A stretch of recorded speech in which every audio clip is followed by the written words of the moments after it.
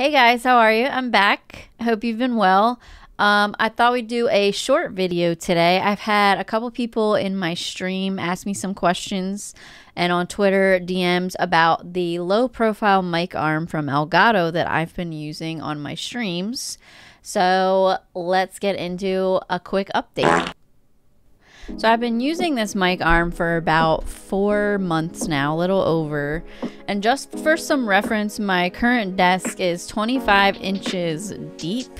So from the basically the wall to the front and about one and a half inches thick.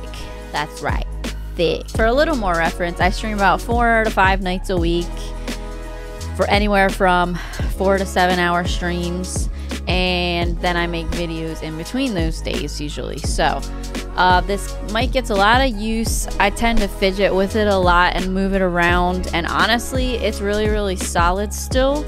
I don't get any sagging or creaking when I'm moving it around. The mounting base is really solid on my desk still. It doesn't move at all when I jiggle it.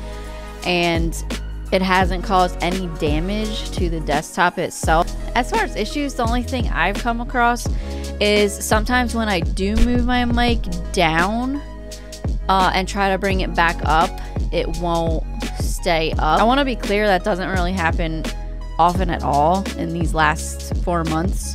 Um, but so just in case, I just keep this little guy that came with the mic arm for adjusting. So I literally just take it and put it, move the mic up arm back where I want to, and just tighten it back up, and it's good to go. So I just keep that in my desk drawer for whenever I need it. The other issue is more my fault, is when sometimes I'll turn my mic towards me because I feel like I'm not loud enough or I don't like the angle all of a sudden and the plate will pop off. I don't really think that's I don't really think that's a fault of the mic arm. I think that's I need a, a longer mic cord so there's a little more slack so the cord doesn't doesn't pop every time I move my microphone. So far this has been the best mic arm I've used.